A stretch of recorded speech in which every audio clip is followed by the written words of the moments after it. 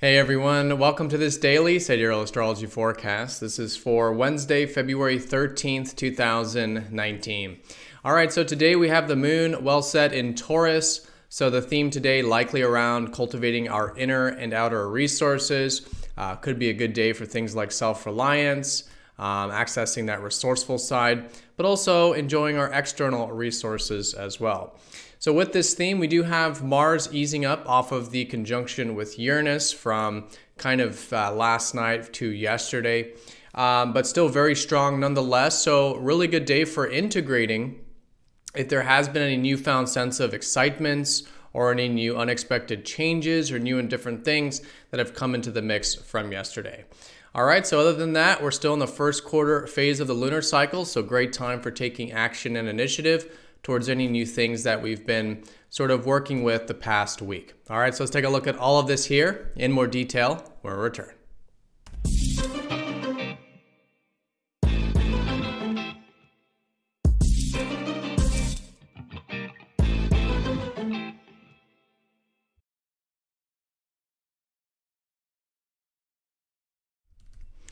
All right, so here's the sky for this Wednesday. So again, we are using the actual size of the constellations called True Sidereal. If you are new to the channel, definitely check out that link down below because the signs are different from mainstream astrology. All right, so the moon well set in Taurus here today. The theme likely around taking the slow and steady approach to life. Um, this could be through cultivating our inner sense of self reliance, maybe some themes pertaining to that self reliance um, and our resourcefulness, even cultivating our natural gifts and talents is really good here with this.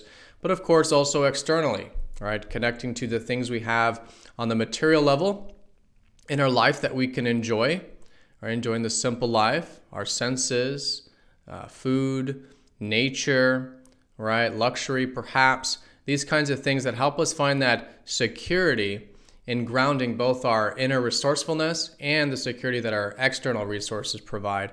Likely themes around this today, and really good to enjoy it and cultivate it with the moon here. All right, so we are still in the first quarter phase, as was the case from around yesterday. So, uh, still great part of the week for taking any initiative towards any new things that have come up over the past week.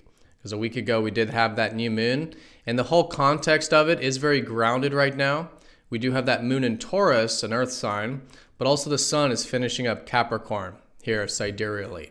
So, with this, great to be focused on things still in terms of the long term approach, what requires responsibility, perseverance, this stable long term approach to things, responsible, patient, disciplined.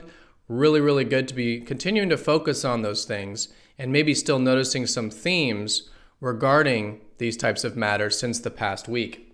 so if there has been anything generally the past week that you that you've noticed in your life, new things, whatever it is, really good part of the week to challenge ourselves to move some of that energy forward.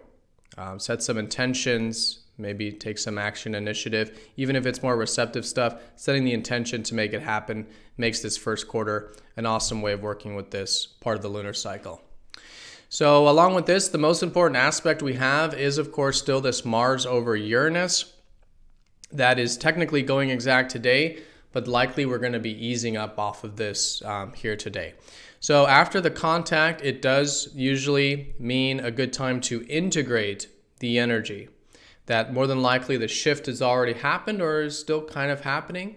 And so, we want to kind of implement it into our day to day lives, physical lives, you know, ground it.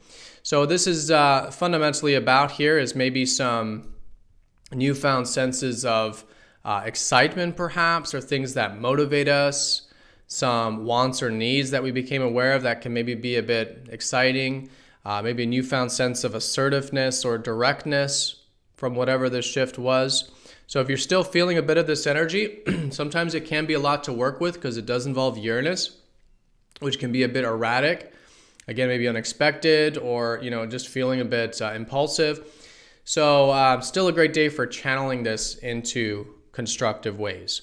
What are some things we can take action towards, motivate ourselves towards that, um, again, might induce some change and create some freedom into our life in healthy and conscious ways. And again, listening to that excitement can be very uh, helpful with this. So definitely an orb, great day for integrating it. How can we, you know, really apply this stuff now moving forward with what really is a new beginning here involving this progressive side of ourself sort of now emerging from this conjunction. Now, this conjunction was at the tail end of Pisces as Uranus and Mars now make their way into Aries. So, with the Pisces influence, a lot of this could still be taking place in the unconscious mind. It could be about more receptive approaches to things, right? For example, taking action in a way that's still receptive, accepting, unconditional, non attached. You know, these kinds of things may be still the theme. So, uh, good to still have that receptive approach while certainly gearing up for what will be this transit into Aries of taking action and initiative towards some of these uh, excitements or newfound changes that we could be now just getting this bit of a prelude to uh, from yesterday and today. All right, so that conjunction still in orb, the most important thing going on astrologically today. All right, other than that, on a very minor note, the moon is going to be squaring up to Mercury. So, a good day for challenging ourselves with communication and learning. If there's anything you can set some intentions with, involving the mind or communication or even our routine, could be a great day for doing that. All right, but the most important stuff is integrating this Mars Uranus conjunction. And of course, the theme of the day, very grounded, uh, of Taurus, cultivating our inner and outer resources in that slow and steady approach to life, which is really kind of the big picture perspective, anyways, focusing on things that do require that disciplined and long term perspective. And again, first quarter moon, great time to set some intentions with maybe moving things forward in this grounded, long term sort of way. All right, so everyone, have a fantastic day. Thank you for watching, and I will see you all tomorrow for the daily forecast.